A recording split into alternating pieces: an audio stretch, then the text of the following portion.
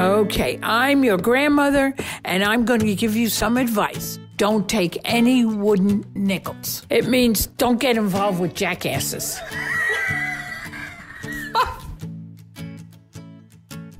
It's Gina and it's Steven, and he's fiddling with his microphone, so that's what you hear in the background. Stop. Let me, let, For- me, let me get it right, and then you can start again. Listen, I need to do this one last adjustment before you can start.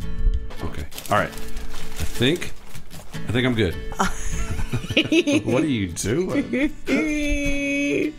Listen, this isn't Joe Rogan's podcast. We have a shoestring budget over here, okay? we really need to do video so you can see what's going on. It's Gina and it's Steven, and this is our podcast. Don't take any wooden nickels. What did my voice just do there? That was a, an octave higher than normal. That was weird. Um, okay, gosh, we sort of took a break. We fell off. Um, we fell off. Yeah. Hey, before we get going, Mm-hmm. you know, have you ever watched uh, like a football game or or even a baseball game where when they're having a little conference in the middle of the field, they uh, they hold their hands over their mouths so that, so the TV can't pick up what they're saying? Oh saying. yeah, they can't read their lips. That's what you just did. It looked like you were hiding, so Oh, I yeah. couldn't read your lips. Well, I, we've got these little foam squares that you know help in in studios to like deafen the sound, right? So there's not an echo. And uh, I was holding it around my microphone. I didn't realize that will hinder our communication because you can't anticipate what I'm going to say. You can't read my lips. Can't read your lips at all. But boy, does my audio sound better. you know, it's like six one half dozen the other. right, right. Anyway, so we've um, we've been on a hiatus. We actually took all of our podcasting equipment with us uh, to North Carolina. So while we were on vacation at uh, the beach, and when we actually went and uh, did a little visit to this cool cabin in Pilot Mountain, which otherwise known as Mount Pilot on the Andy Griffith Show. We learned that. Well, so somebody we know, uh, uh, your cousin actually, I think, said that on the Andy Griffith show, they refer to Mount Pilot or Pilot Mountain as the big city, Yeah. right? yeah. so they're coming down from Mount Pilot, that kind of thing. Which is so funny because after spending, I don't know, we were there for three, four days. Yeah. It's not a big city. It's a very quaint, cute little town, and, and we we really adored it. We were staying in the foothills of Pilot Mountain in Yeah. what they call a tobacco cabin, and um, we were allowed to take the dogs, and it was just a really great time. So we did bring the podcast equipment with high hopes that we were going to record from the mountains of North Carolina, uh, and we didn't. So here we are. we were too busy dealing with the springtail situation. I don't even want to talk about that. You know, I don't. that's gonna be funny. That's funny. It is. The springtail situation is hilarious. I hate them so much. I think they're still crawling on me. Okay, so these woods were dense and had a lot of um, really wet leaves, dead mm-hmm. leaves on the mm-hmm. ground. And dogs would go out, do their business, come back in, and they weren't itching. The dogs No, weren't they scratching. itched. They never scratched an itch, but somehow Gina noticed on her dog a little black flea-like looking creature mm-hmm. crawling around in her coat, her hair.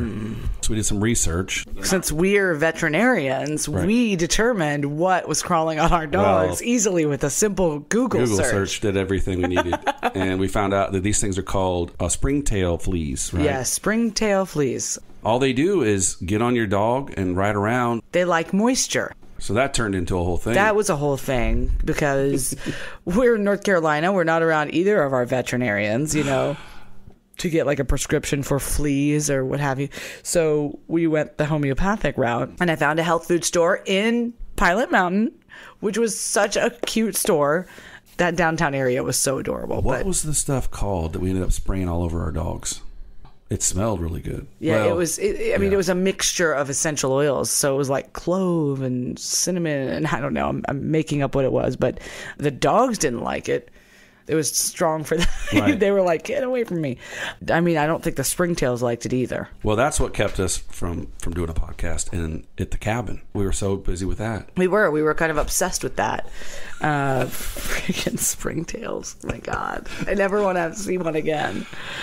It's weird because it's like they're not that harmful, I don't think, because they're not biting, but they're just who wants bugs? They're just hijacking. anywhere? They're just hitchhiking on our dogs. Right, right, Right. exactly.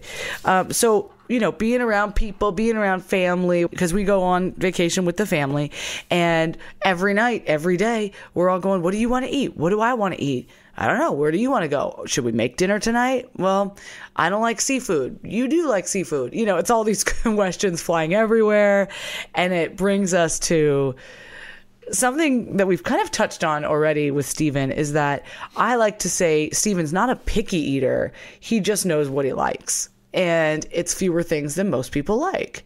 And I, you've actually really opened up my mind and my perspective towards this because you do have to deal with a lot of annoying, unnecessary, Yeah. Snide comments, opinions, glares. You get a lot of Oh gosh. weird looks Yeah. like, huh? And why don't you just talk about what you've been going through for really the better part of your life? yeah, I like the way you put it. Uh, I do really know what I like, and I don't mind eating the same stuff that I really like. Um, I've tried plenty of things over the years, Right. But it's really strange this whole food thing. As soon as you mention that you don't like a certain food, a restaurant gets mentioned, you say, "No, I'd rather not do that. I don't really like that kind of food." Mm-hmm. Or you're at dinner and somebody starts asking you questions about it, and you say, "No, it's not really my thing." I don't know what it is about that particular topic that people have feel like they can just almost attack you for your choices in this. Yes. Like, what? You don't like insert whatever Crab is. Let's call it crab cake, sure. Shrimp? You don't like crab cakes? Have you ever tried crab cakes? I mean, I'm actually guilty of doing this Yeah. to you. Yeah, it happens all Early on, I was because I'm like, oh, babe, you've never had my crab cakes. I'm sure you get that too. True. And now Right. that you know we've been together for a while, I, I'm starting to see the the error of my ways because it's irritating. And I will say that I haven't tried every single food that I've decided not to eat. Uh, mostly because a lot of your taste or what you're interested in tasting or trying has to do with how it smells to you.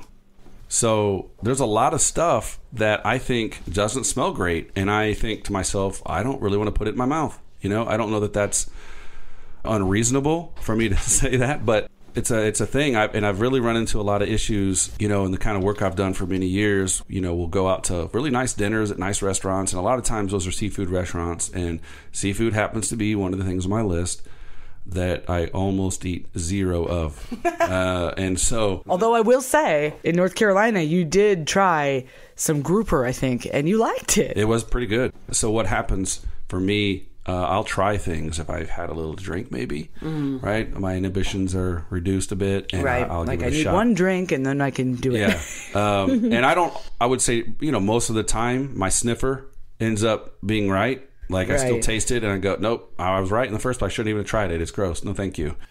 but it's just this weird phenomena that, that people think that as soon as uh, you mention that you don't like something, they can just sort of the entire table sometimes decides that it needs to be the next topic we all talk about, and then you're by yourself, kind of trying to defend your your choices about what you like to eat and everybody's just you know kind of piling on but i also think that's interesting if you say hey i uh, don't eat x because i have stomach issues around that or Oh yeah. Or, what if you said, "I can't eat shellfish because I have allergies." everybody leaves you alone No one will ask You're you a question. you're exempt so, but if you say, yeah "I don't eat shellfish because I think it tastes like doo doo," Mm-hmm.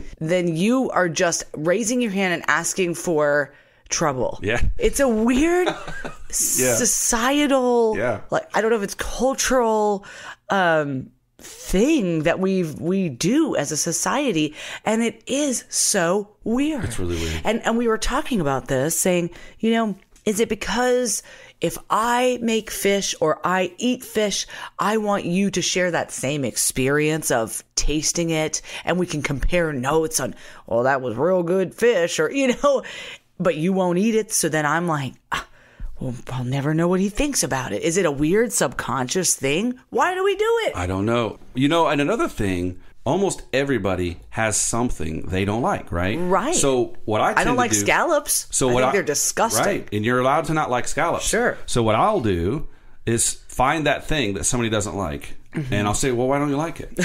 you know, well, I just don't like the taste of it. Boom. Right. There's your answer. I just have a lot more things I don't like the taste of. Mm-hmm. Right. But And people will argue with you and say, "But you've never even tasted whatever it is." and sometimes that's true. Sometimes I haven't Mm-hmm. So how do you it. know you don't like it? smell. It's all about the smell. Hey, I always use the example. I know it's extreme, but you know, poop smells pretty gross. And what if somebody told you, "Hey, my poop tastes pretty good. You should try it." God, Even though it smells really bad, are you going to put it in your mouth? No. And- that's really gross. I my know. dog does sometimes. yeah, but but you're not going to. If it just smells gross to you, why would you eat it? I don't understand why you Mm-hmm. put something in your mouth that smells gross. I've got a very diverse palate, I guess, honey. I don't have. yeah, I'm a pretty simple eater. So, have you ever thought about just telling a white lie at the table? Yeah, and I have. Have you? There have been times. Okay. I've used the old. Oh man, the last time I ate this, my stomach did not agree with me. And then usually they back off. Oh gosh, that sucks. Well, Mm. sorry about that. And then we move on. Because you don't love spicy food either. Not super spicy food, right? Okay. I'll eat some stuff uh, that that isn't overly spicy, isn't overly hot. Mm-hmm. You know, some people it really does mess up their stomach. So I can say that. I have said that. You know, have. but I So you've to- used- you've used that. It's just to get off. Have you gone the extra step and actually said, "That's an allergy for me"? Not yet. Yeah. Why are you? Are you afraid to? You just Right. don't feel comfortable lying. What What's if, what if they say, okay, well, what happens to you? you know, well? Then you got to think on your feet. right. I got to be quick and go. Oh man, my hand starts swelling up. Your uh, hand starts I can't up. breathe. Uh, you know, you got an EpiPen on you. I think what I need to do is get an EpiPen and just carry it with me. Mm. And then as soon as people start talking about it, I bring it out and go, this is why I carry this around because you just never know. I got so many allergies. There's a lot of things I just can't eat. And then everybody will feel sorry for me. Everyone will leave me alone. Yeah. Yeah. Maybe that's what I need to do. Well, when I was a server years ago, they told us if anyone, and we were supposed to ask the table, you know, are there any allergies in this group? And if anyone had, oh, a peanut allergy or a shellfish allergy, we had to take that very seriously. And we had to, we were instructed to actually go to the chef and tell him, hey, table whatever has blah, blah, blah. Oh, right. So it's just funny to me that it's like they don't care if it's just because it's your choice. Right. They only care if it's actually going to inflict harm onto you, like bodily harm. so that's the out, right? That's the solution Yeah. is just make them think that there's a liability case. I mean, you could do that you know? certainly when you're eating out, but I think that you have a problem doing it with family. Yeah, right? family too, right? There's always that uh, that family member that makes a great dish, Mm-hmm. and they're like, "Oh God, I make the greatest clam uh, pasta." I don't know, whatever, right? Something gross to me. I wouldn't eat that either. That so. doesn't sound good. I, well, and you know, everybody loves it at the table, but me. And it is, it's weird when, when family members get annoyed about it. Yeah. Oh, well, what am I going to cook for Steven? Actually, it's so easy. He's got a pretty, you know, decent list of foods he likes. So it, it got us thinking how many other things in life do people think that they can interject when you say you don't like it, or you've never tried it, or you've never done it? Yeah, yeah, that's a good one because uh, I think movies sometimes, Oh, yeah. right? Like if Yeah, there's a yeah. classic movie that everybody's seen, you say, "Oh, you remember in the uh, let's say The Godfather? That's a classic movie, right?" Which I haven't seen. Oh my God, what? I'm just kidding. I've, I'm not, kidding. I've not seen any of them, and I'm Italian. You're gonna have to see this. You come over to my house next time. I'm gonna get the DVD set. We're gonna watch this movie Do people still have DVDs? Well, come over. We'll we'll stream uh, whatever. There we will watch it there together. go. We'll Netflix whatever. Well, you just busted me on a movie I've never seen Talladega Nights. oh yeah. Yeah, I've never seen Just it. yeah. Another one maybe is um, places, right? Really popular, like Orlando, Oh, yeah. like Disney World or something, or or Vegas or New York, like the big cities. Everybody seems to check out. like maybe at once. least been to once. Right.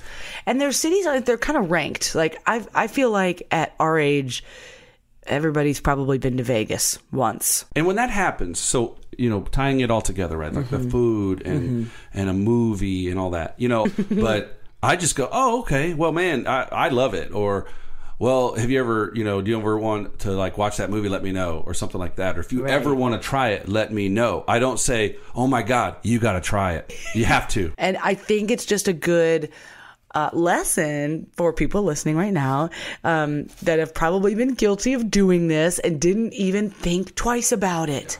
They don't even think about it. Yeah. It's interesting because I'm one of those people. I never thought about it until I started dating somebody that had very, um, you know, specific things they like to eat. Yeah. I don't even like to say that you don't like a lot of foods. I don't like to um, put a negative to it because I don't think it's a negative thing. You're self aware, you know what you like. So, When it really becomes a problem is if there's none of the stuff I like left over to eat. Then I'm in trouble. then I'm really in trouble. so one more topic, kind of in this vein. After your divorce and you started dating before we met, did you ever meet people or ladies that did not like dogs or were maybe just cat people? You know, And how did you feel about it? I didn't actually meet any of Oh. them because I, I, I have to admit, um, You filtered them out. I filter them out. So if I saw if they if they explicitly say Uh-huh. they don't like dogs, now this is it just contradicts everything I just talked about with the food stuff or with movies or whatever. Uh, but yeah, and if somebody says So says now you are that person. I'm that reverse. person. But you know what? I won't interact and I won't tell them they're an idiot for not liking a dog. But I personally think Mm-hmm. that you don't have to love dogs enough to have a dog because that's a lot of work. Not, Sure, not for it is. everybody. You're right. But somebody who just decides to say out loud, I hate dogs or I really don't like dogs. I have a, I have think that's a problem because dogs are amazing. I mean, you might have had some bad Yeah. encounters with some dogs, but most of the time dogs are just wonderful. They they give you, you know, unconditional, Mm-hmm. Unconditional love. love. Maybe you're allergic. There's a, again another reference back to the food. If they say, "Hey, I'm allergic to dogs," Right. Mm-hmm. okay, that's totally understandable. I don't. They can't be around them. Maybe they had some traumatic incident with a dog Maybe so. before, but I was so. bitten by several dogs, and I still love dogs. Same, same here. Yeah, I've bitten, gotten bit by a Shih Tzu, which was more scary than it was. Um, You're lucky you made it out of that one alive. I know a Doberman Pinscher yeah. And a Dalmatian. Those were the three Dalmatian? that bit me. Yeah, Wow. Well, I, I I've been bitten. I had a, an incident when I was in my uh, I don't know, I was like pre ten or eleven years old, somewhere around there, and I had What kind? It was a German Shepherd, so it was interesting. It was I'll tell the story real quick, but it was like this neighbor. I was out at my dad's for the summer, and this neighbor had a, a female German Shepherd named Bertha. She used to be a police dog. She was very well Oh. trained, apparently, but she got a little older, was a little more grumpy, and I was going through. and you had drugs on you, and he smelled you. Is that?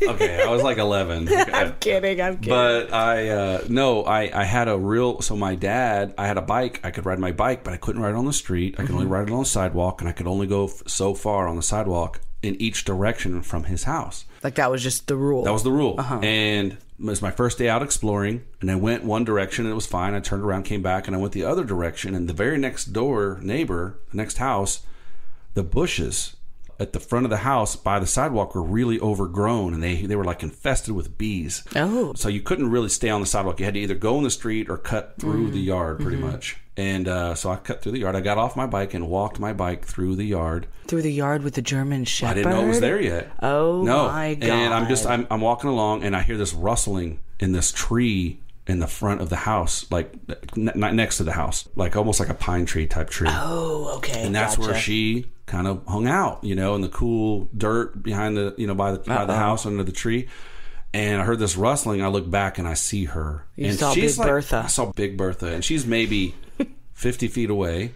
And I took maybe two steps before she got to me. You locked eyes. I looked at her and I knew she was upset. And I took off running, dropped my bike. I took maybe two steps before she was there. She was that fast. She jumped on my back, like knocked On me your down. back? She like knocked me down. She like hit, hit me with her like legs or something. She went into police mode. She went into police mode. I fell.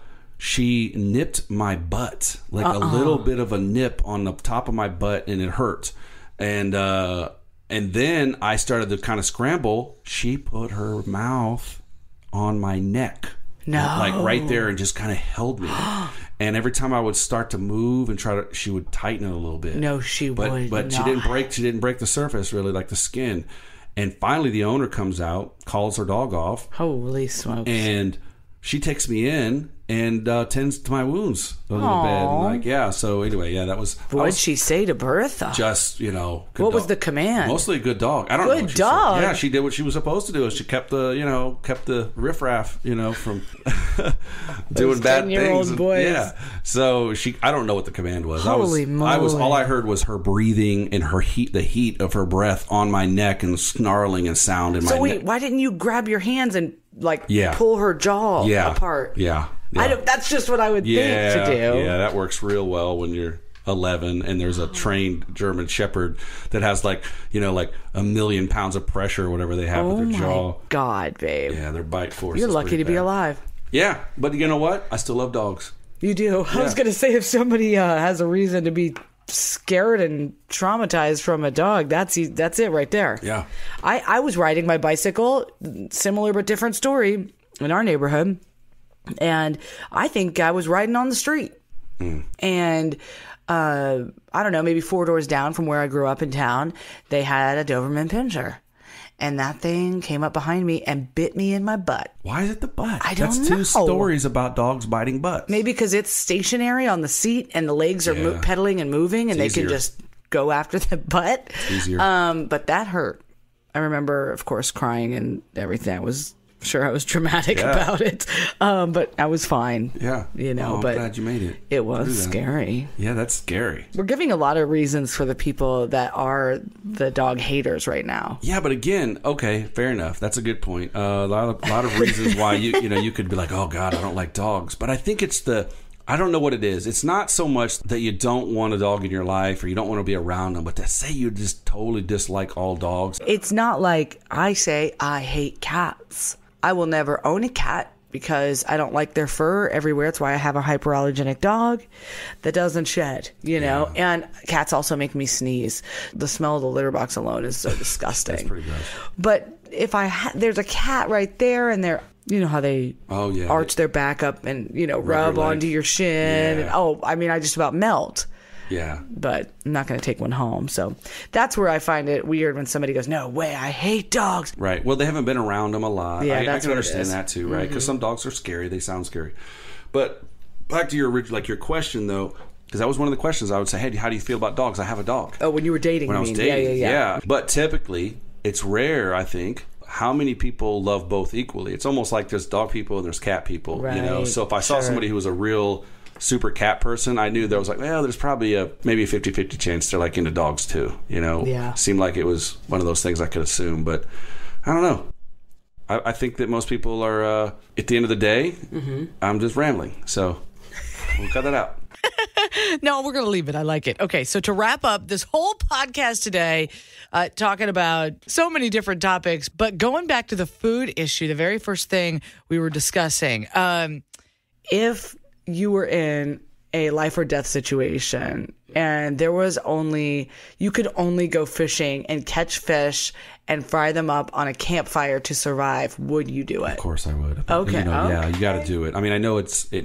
My body needs it. I'll Right. force it down. Okay. Hold my nose. Whatever tricks I have to do to get past the flavor that I don't enjoy. Mm-hmm. Just smell the campfire while you're shoving it yeah, down your mouth. Yeah. I could do it in that case. Sure. Thank you so much for listening to our podcast. It is season two. Steven's now on. Don't take any wooden nickels with me, Gina. And I promise we're not going to let you wait for the next podcast as long as we did this past one. If you have time, please subscribe. And if you can even write a review, that I guess helps the algorithms and stuff.